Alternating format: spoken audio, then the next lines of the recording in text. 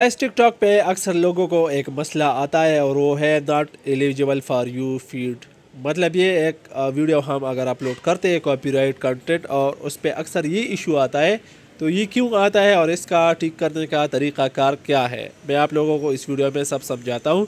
ये असल में जो है मोनोटाइजेशन से पहले ये मसला ज़्यादा आता है और जब हम कोई कॉपीराइट कंटेंट टिकटॉक पे डालते जैसे कि यूट्यूब से लेते या फेसबुक से लेते उसको ऐसे ही डाल लेते। तो अक्सर ये मसला इसलिए आता है क्योंकि टिकटॉक समझता है कि भाई ये कंटेंट आ, मतलब हमसे पहले किसी और ने भी अपलोड किया है टिकटॉक पे मौजूद है तो इसलिए ये मसला आता है। दूसरा ये कि कॉपीराइट म्यूज़िक पे भी ये मसला आता है जो म्यूज़िक ऑलरेडी टिकटॉक पे मौजूद हो और उसको हम कॉपी करें और फिर उसको अपनी वीडियो में इस्तेमाल करें तो इस पर भी ये मसला आता है।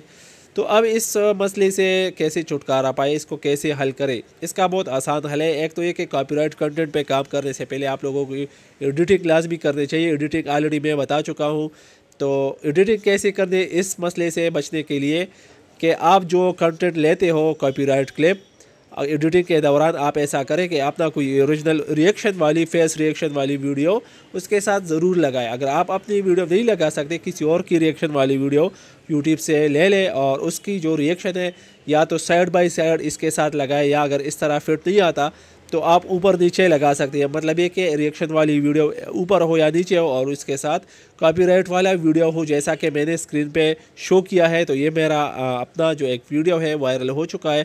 तो इसी तरह अगर आप करोगे तो आपको ये इशू बिल्कुल नहीं आएगा और आप कॉपीराइट से बच सकते हैं। उम्मीद है वीडियो आप लोगों को अच्छी लगी होगी। इंशाल्लाह मिलेंगे एक और वीडियो के साथ। तब तक के लिए अल्लाह हाफिज़।